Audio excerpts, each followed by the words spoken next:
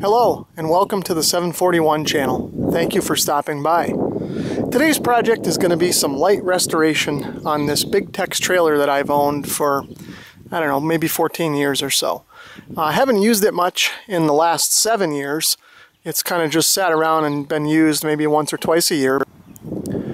Uh, but now that I have uh, an SUV here instead of a pickup truck, I think I'm going to be using this more and more often, especially for hauling firewood around and things like that that I used to use my truck for.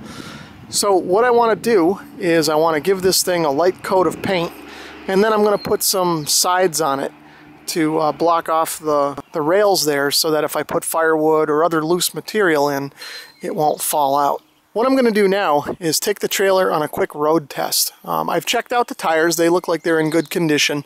And I've also checked out the lights, all the lights are working. So I'm going to take it down the road and make sure that it's still riding smooth and not making any kind of noises or has any bearing problems or any of that sort of thing. And uh, if we don't need to take care of any mechanical issues, then we'll start working on the, the cosmetics.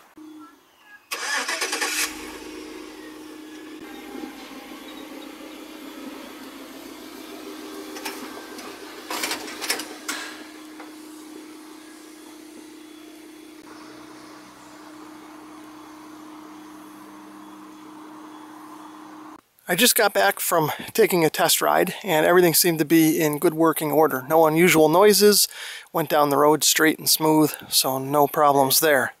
So what we're going to do now is power wash some of the green stuff that's growing on it. I don't know if that's moss or algae or, or whatever it is. We're going to power wash that off and get the thing ready for a quick coat of paint.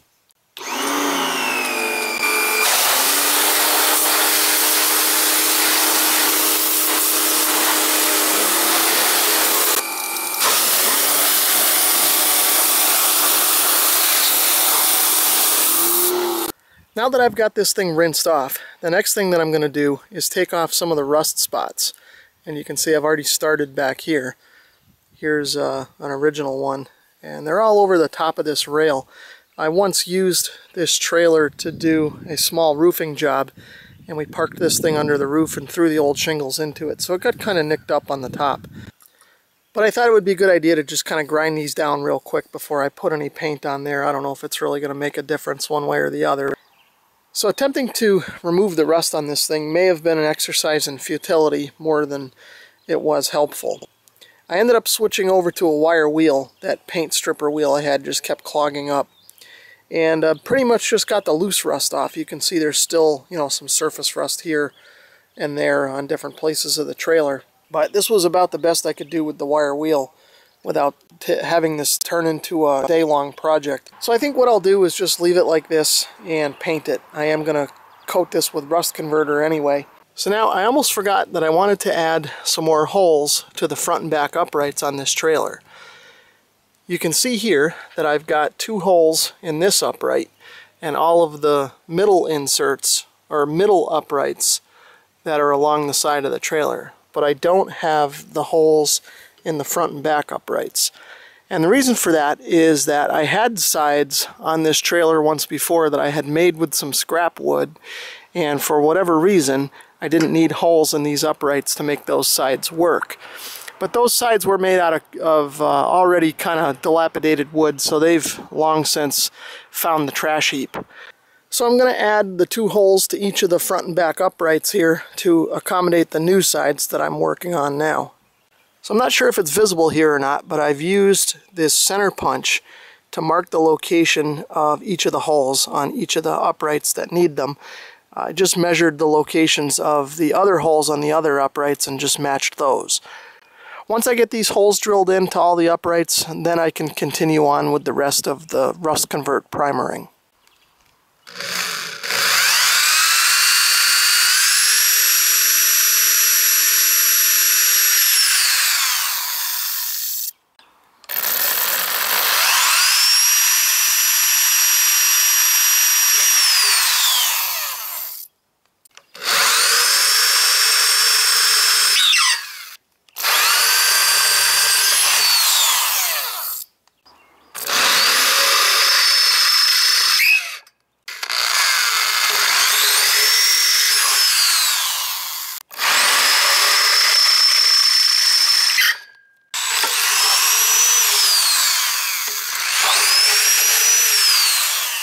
So now I'll just repeat that process for the other three uprights. So here's a look at the rust converter I decided to use. I've never used the Rust-Oleum brand before. I have used other brands on some automotive projects in the past and it seems to have worked pretty well. So I'm going to give this stuff a shot on the trailer here and uh, see what happens. I don't think it can hurt anything, that's for sure.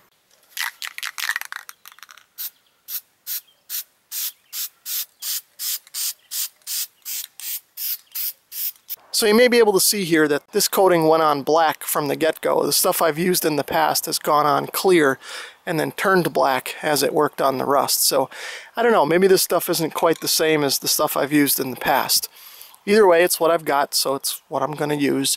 So now what I'll do is I'll work my way back from front to back here on the trailer and just cover the, the rusty areas with this stuff. I don't really need to paint the whole thing with it, and uh, we'll, we'll see what happens after it dries.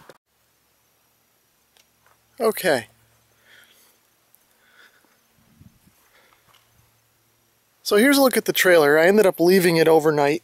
You can see everything's dried up. It doesn't look much different than when I first put it on. Uh, like I said, this stuff went on black as opposed to the stuff that I'm used to that goes on clear and turns black as it dries.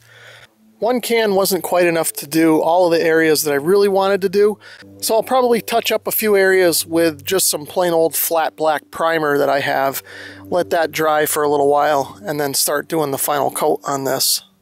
So I'm just about halfway done, I think, and I used, uh, well, a little bit more than one can. I started back there in that corner. I didn't do the gate, I just started in the uprights and the, in the rail went back, did both the inner and outer portions of everything, including the fender.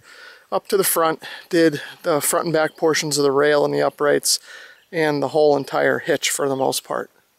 So I've got the thing more or less painted at this point, and I've gone through two and a half cans of the glossy. I'm going to leave the last half a can to touch up any uh, thin spots or whatever once this dries. Right now, I don't know if you can see it or not, but it looks a little bit spotty in the camera, but I think that's just because it's, you know, partially drying in some spots and uh, not in others. I'm going to let this bake here in the July sun for a few hours. I'm going to go do something else and then I'll come back and take a look. So I'd let this dry for a couple hours and it still looked a little bit blotchy on the rails. So I took that last half a can I had and did a second coat on the rails all the way around and on the outer part of the fenders just to make them look a little bit better. And uh, they look a little more consistent now, so I guess that's all it needed was a second coat. Probably a third coat would be even better. So this wasn't part of the original plan, but I ended up putting some waterproofing sealer on these boards. I've had this can just as long as I've had the trailer, and I happened to be walking through the cellar and it caught my eye, and I decided I'd use it up here since I really haven't had a need for it for any other projects. So uh, now that it's more or less empty, I can dispose of it, and that's one less thing on the shelf that I have to worry about. So we've let the deck boards dry for a couple hours, and now we're ready to start working on putting on the sides. You can see that I've got the board clamped to the uprights on the side of the trailer. I've got one here in the back of the trailer, and I've got one more clamp up here at the front of the trailer. See, the idea here is now that we have the board clamped nice and tight to the trailer, I can just drill out the holes in the upright and then we should be able to put the bolts through and that'll hold everything in place. So we're just going to use a 5 16 drill bit and just drill this through the wood.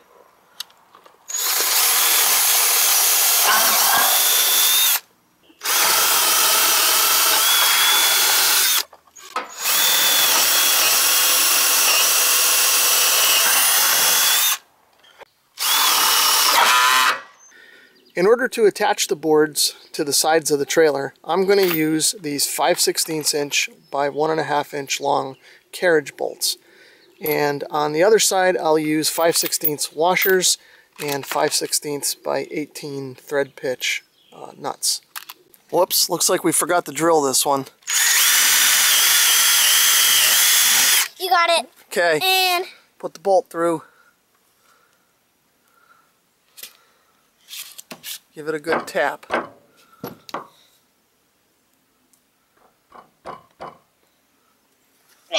I just gotta get it in there. Now tap, tap, tap, tap, tap. Good. That's about as far as you're going to get it.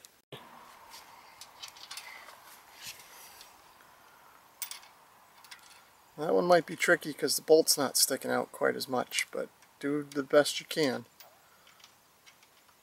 Looks like you got it.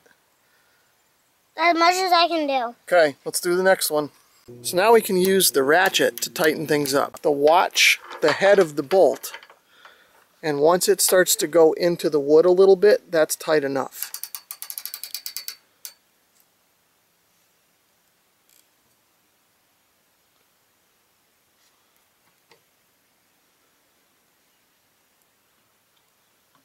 Okay. Oh, you got past the little light. A little more. Alright, that's probably good right there. We don't want to tighten it too much. We'll split the wood. Okay. So I've got the second board clamped on and I started drilling the holes. And when I got to the one where the tail light is, you can see that the tail light's in the way of my drill bit. So I ended up marking this one. I'll have to unclamp the board, drill that hole separately, and then put everything back in place. So it's been a few days since I've been able to get out here to work on the trailer, uh, partially due to personal obligations and partially due to weather. But I finally found some time and I've got the front boards cut to length and now I just need to drill the holes and put the bolts in. So as you can see, I've finally got the front boards on the trailer and bolted on, so those are all ready to go. I did have one issue though. Uh, this bottom board was cupped a little bit, so I wasn't able to get the washer on. I just didn't have enough threads protruding on that bolt, but I think this will be okay. I don't think I really even need the washers on here to be honest with you.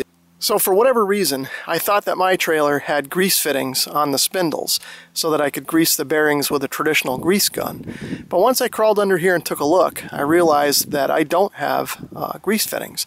So in order to grease the bearings on this, I'll have to pull the wheel and repack the bearings manually in the traditional manner.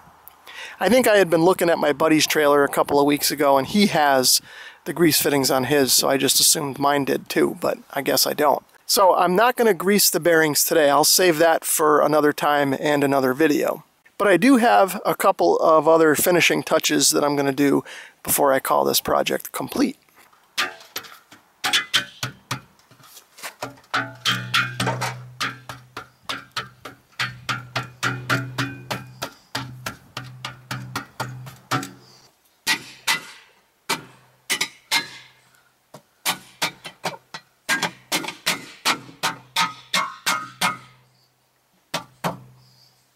I know, the trailer looked a lot better with the hubcaps off of it, but I've got these old hubcaps laying around and I figured I'd put them to some use.